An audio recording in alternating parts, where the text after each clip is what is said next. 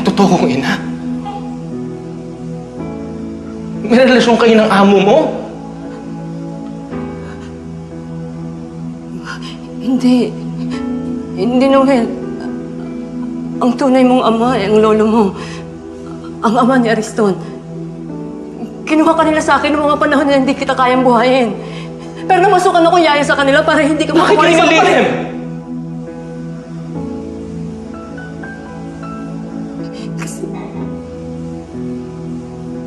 Kasi natatakot ako eh.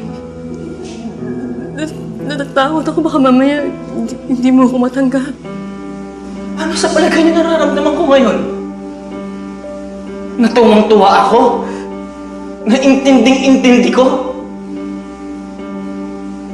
Karapatan kong malaman dahil buhay ko rin to! May pagkakataon na kayo sabihin noon dahil duwag kayo.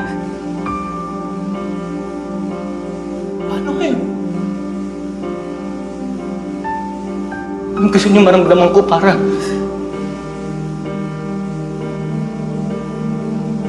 Gusto niyo magpasalamat ako sa inyo, gusto niyo matuwa ako.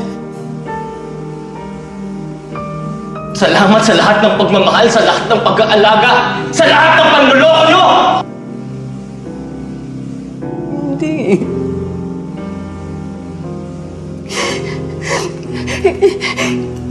Hindi kita pipigilan magalit sa akin, pero... Sana... Sana magkaroon ka ng puwang sa puso mo na mapatawad ako. Tawad.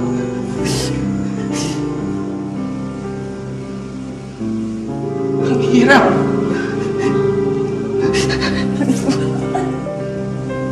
Ate!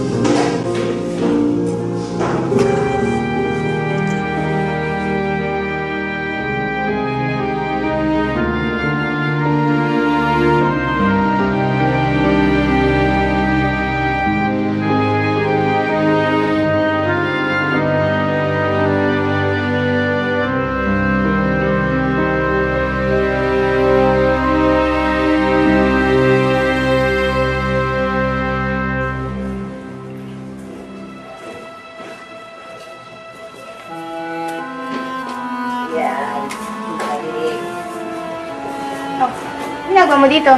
Dali ah. Totoo ba?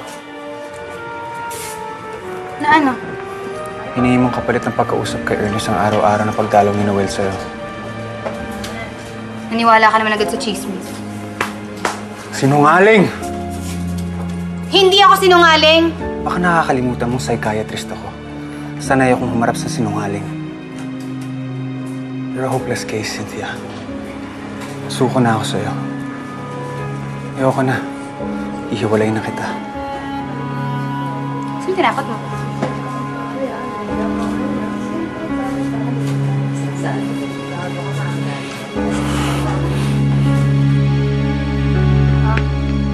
Game, game. Pagpasensyahan mo na yung anak mo.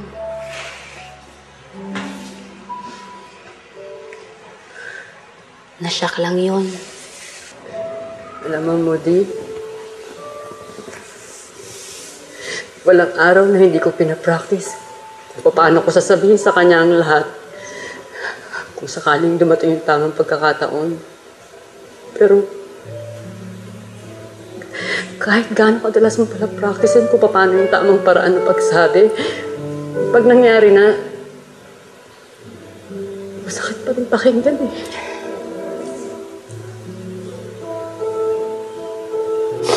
Eh, ate, hindi naman ate masisisi si Noel, di ba? Hindi, hindi ko siya sinisisi. Naiintindihan ko naman siya eh. Kaya nga nagdesisyon ako noon na itago na lang lahat ng to kasi alam kong ganito lang kakahantungan. Hayaan mo. Maliliwanagan din si Noel. Gusto pag nangyari yon, edi happy ending din kayo mag-ina.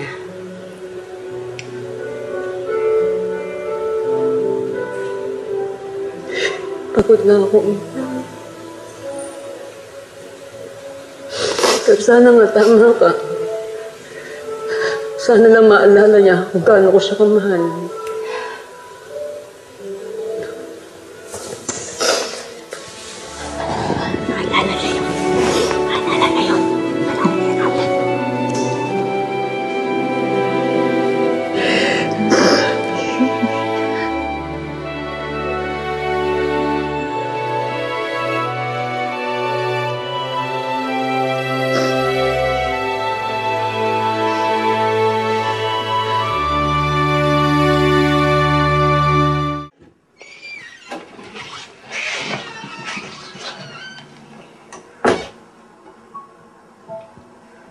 Noel.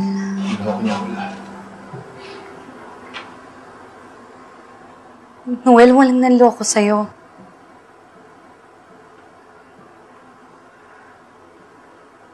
Sa isang igla. Lahat ng akala ko totoo sa buhay ko. Lahat pala kasi nungalingan.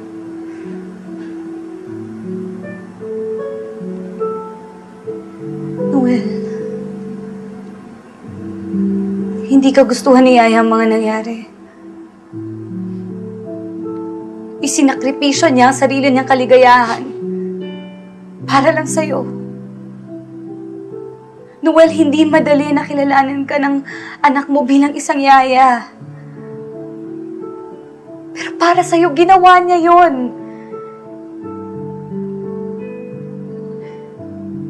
Nalilimos ako ng pagmamahal sa ama ko. Ngayon malalaman ko kapatid ko pala siya. Na wala pala siya naging kasalanan sa akin. ano ba naman no?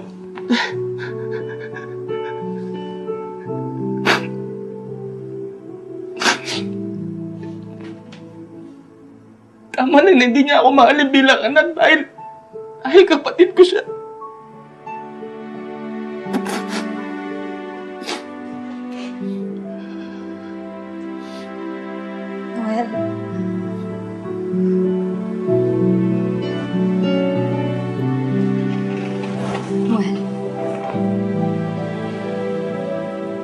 Lahat ng tao na may kasalanan sa'yo. Lahat sila nakalibing na.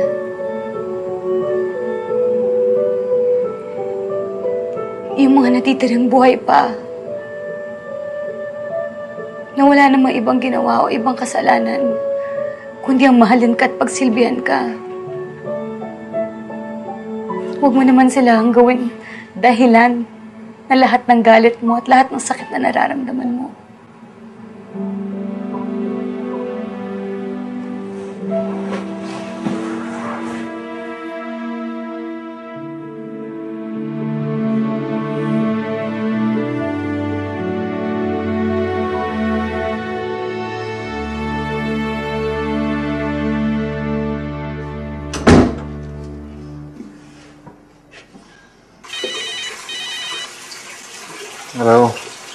Victor. Sino to? Si Melanie to. Melanie. Yes. Nakatulog na kasi si Ernest eh. At medyo nagkakaroon ng problema lang dito sa bahay. Okay lang ba kung bukas ko na siya ibalik dyan? Akong bahala. Ikaw naman yung mami. Gusto na siya. Okay naman. Thank you ah. Melanie, take care of Ernest. Mahal ko siya parang sarili kong anak. I only want the best for him. Thank you, Victor.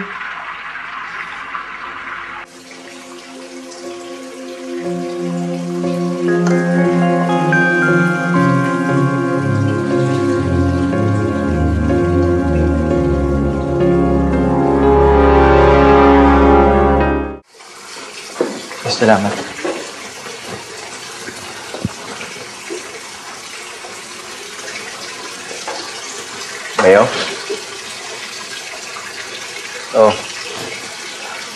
nangyari sa'yo?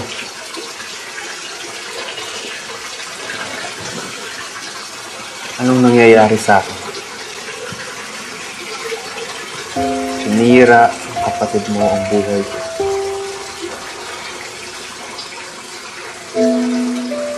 Nahiya nga ako sa'yo eh. Naging mabuti ka sa kanya. Pati na rin sa aming lahat. You, you don't deserve this. Ano gusto mong sabihin ko? That I should move on? Kalimutan ko ang lahat at magsimula ng bagong buhay?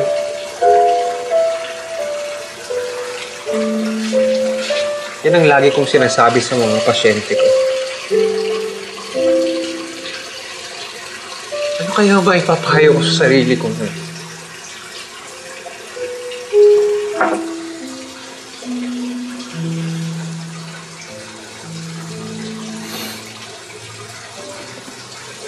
Gawin mo na lang kung ano makapagpapasaya sa'yo. Ano ba yung katatahimik ng loob mo?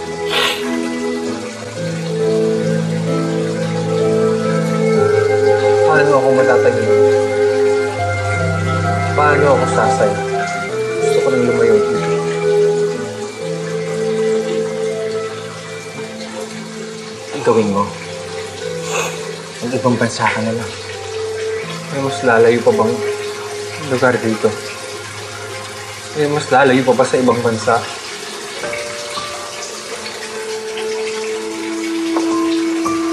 Lugar na hindi ako aabutin ng sakit na dinanas ko dito.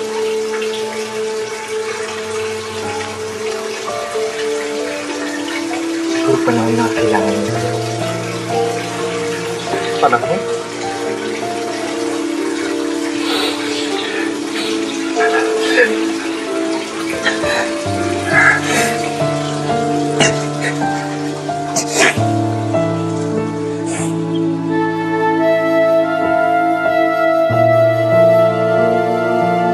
Ano naman itong ginawa mo, Cynthia? Naawa sa asawa mo? Hindi asawa kong kailangan ko. Kailangan ko si Noel. Ano ba salitang pwede kong gamitin para malaman mong hindi lang ikaw ang tao sa mundo? Sabihin mo na lahat ng gusto mong sabihin. Pero hindi magbabago ang plano ko kay Noel. Oo nga naman. Wala naman talaga akong magagawa. Kaya nga suko na ako eh. Wala naman siguro magsasabi naging masamang kapatid ako sa'yo. Kung naging miserable man ang buhay ko, naging parte ka nun. Kung ano man na nangyari sa buhay mo, tagagawan mo ang lahat ng yon.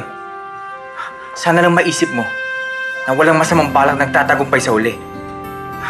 Baka magising ka isang araw, Cynthia. Nag-iisa sa mundo. Walang karamay, walang kakampi, at walang nagmamahal.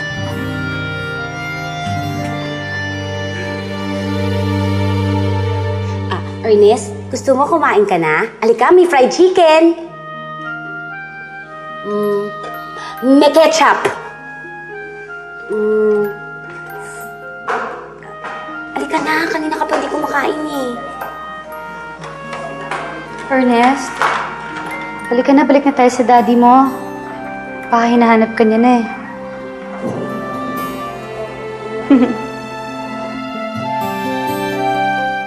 Hi, ate! Napadalaw ka. Gusto ko sana kayo sumbatan eh. Kundi dahil sa akin, hindi kayo magkakatuluyan. Parang nakalimutan yun eh. Hmm, ate, syempre hindi. Ate, salamat kasi utang namin sa'yo lahat to.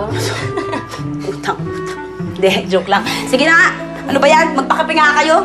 Nakikipaglokohan lang ako sa inyo. Oo pala. Ano gusto mo? Kape, orange juice, o soft drinks? Soft drinks kaya. Kahit orange juice, kahit ano. Basta hindi mo masyadong matamis nagda-diet ako eh. Samahan mo na lang pansit saka ng sandwich o kahit ano man. Gutom na gutom ako kahit ano kakainin ko. Mm. Sige. Hmm, ate, bakit hindi mo pala kasama si Cheseding? Ay, depressed na sa bahay. Kasi nalaman na ni Noel na ang totoong nanay niya ay si Chesiding. Ha? Talaga? Ah, hindi niyo alam? Eh, hindi. Bakit hindi mo sinabi, ate? Ba't mo sasabihin sa inyo yung secret yun? Ang galing ko, nagbago na ako. Kaya na ako mag-keep ng secret. Amazing. Di ba? Eh, kung ganun, depressed pala si Cheseding, eh bakit mo naman iniwan? Ay, tumatanong ko sa'yo.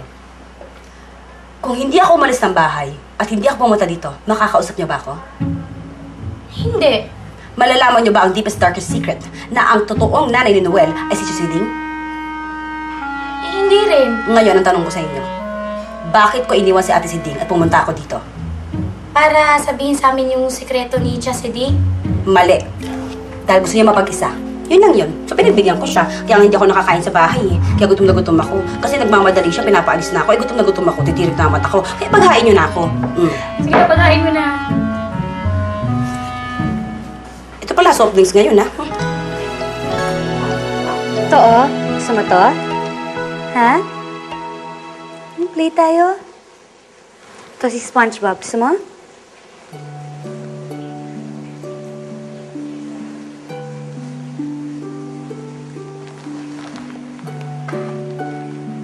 Miss na miss mo na talaga mami mo. no?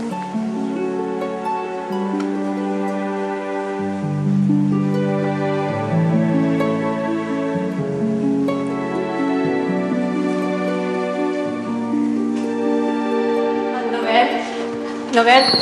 Naghanda ako ng paborito mong almusal. Kain ka mo...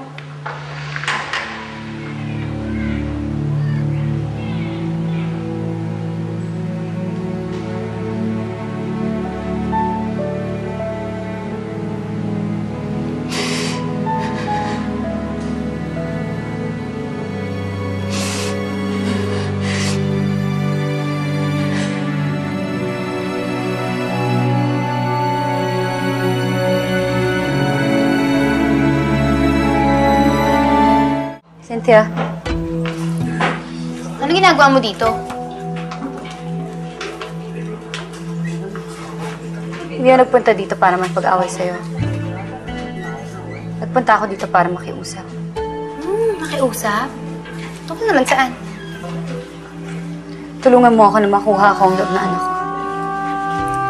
Ano magagawa ko kung ayaw niya sa'yo? Kausapin mo siya. Ipaliwanag mo sa kanya lahat na nangyari. At anong kapalit? Alam ko naman kung anong gusto mo eh. Eh naman pala eh. Alam mo naman pala. I want Noel's tender loving care.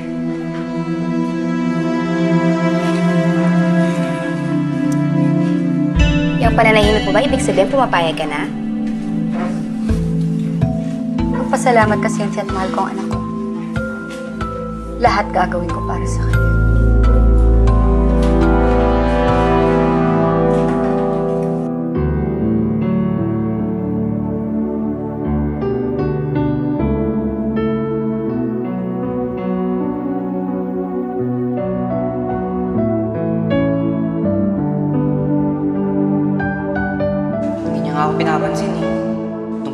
Babae niya, lalo na ako hindi pinapansin ni Daddy. Bakit mo inutusan ang kapatid mo maglinis ng bahay? Ba't mo pinapagalitan niyo? Huwag kang makialam. Usapang pamilya to.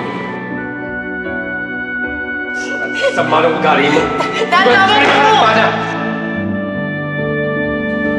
Basta ako, nandito na ako palagi. Hindi ako mawawala sa'yo. Hindi, hindi kita iiwan. Hindi ba tayo tunay na magkadugo? Pwede pa rin naman kitang pagsibihan na parang tunay kong anak, hindi ba? At pwede mo rin ako ituring na tunay mong ina, hindi ba? Wala naman akong hinihinging kondisyon sa pagmamahal na binibigay ko sa'yo. Ganun ta naman talaga ang isang ina. eh. Parang anak naman talaga ang tuloy ko sa'yo, di ba?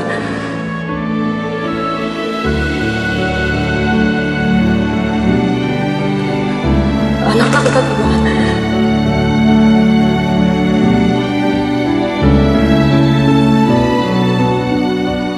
May pag-uusapan tayong ma- importante. I just think it's about time. Pinapunta ako dito ng daddy mo. Meron daw siya mahalagang bagay na sabihin. Kaya yung mahalagang bagay na yun.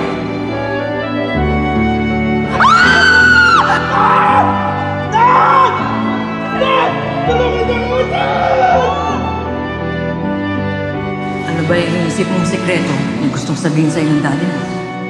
Iniisip mo ba na hindi ka nila tunay na anak? Kunwari na ako pala yung tunay mong ina, paano mo tatanggapin? May magagalit ako sa'yo.